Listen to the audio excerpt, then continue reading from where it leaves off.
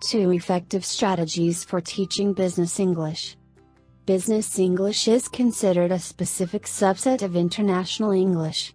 Business English focuses on studying English vocabulary and topics that can be applied to business purposes such as trade, finance, and even international relations. English in the workplace often requires a specific subset of skills such as presentations, negotiations, and professional correspondence that are typically not covered in general English courses. As the amount of business English learners grows, there is an increasing need to understand how business English differs from general English and what strategies are effective for teaching business English. Business English versus General English.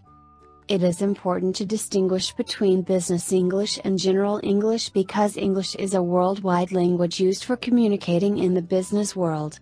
One of the key differences is the purpose of each type of English. General English is more often used for engaging in day to day conversations, whereas Business English is typically learned for specific purposes such as professional growth that can lead to more opportunities in the future. Second, the level of proficiency often differs between general and business English learners. General English learners will often plateau after reaching a certain level of proficiency. Business English learners, however, will often continue to improve their proficiency because they are motivated to improve their current skills and techniques. Finally, the terminology set is different between the two classes of English. General English focuses on more daily conversational vocabulary such as clothing, weather, or food. Business English is more specific and often includes terminology associated with specific industries. One example is aviation, where all international pilots must use aviation English that includes technical terminology necessary for flying aircraft. Teaching strategies Despite the differences between General English and Business English, there are effective strategies that can be used to teach Business English to clients. 1. Considering students' peculiarities. First, there is a need to understand the clients who are interested in learning Business English. Business English learners can vary widely. For example, Learners can be high school students preparing for the workforce or established 40 year old professionals hoping to expand their current career opportunities. They can also range in English language experience, from very little experience to extensive previous language coursework. Lastly, learners can vary in motivation. Learners who are forced to learn English will be less inclined to prepare outside of formal instruction and will be least motivated. On the other hand, learners who are self motivated to learn English will be incredibly diligent to improve on their own schedule. 2. Identifying learners' needs.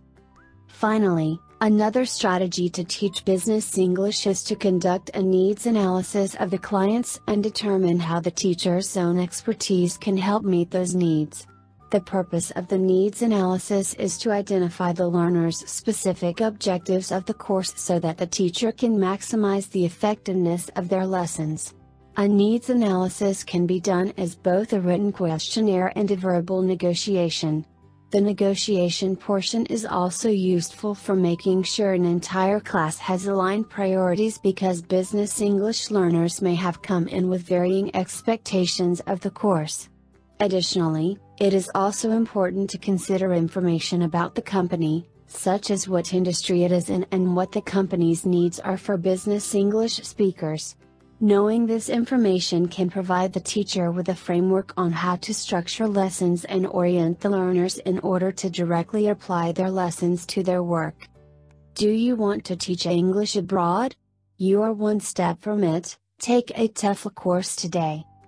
Overall, there is a growing need for speakers of business English as English continues to be the dominant language for international communication. It is important to understand the differences between business English and general English. Additionally, it is just as critical to be able to use effective strategies for teaching business English to a wide range of students. English language teachers who can accomplish both will be able to successfully impact their students in their business English education. Speak with an ITTT advisor today to put together your personal plan for teaching English abroad. Send us an email or call us toll free at 1 800 490 0531 to speak with an ITTT advisor today.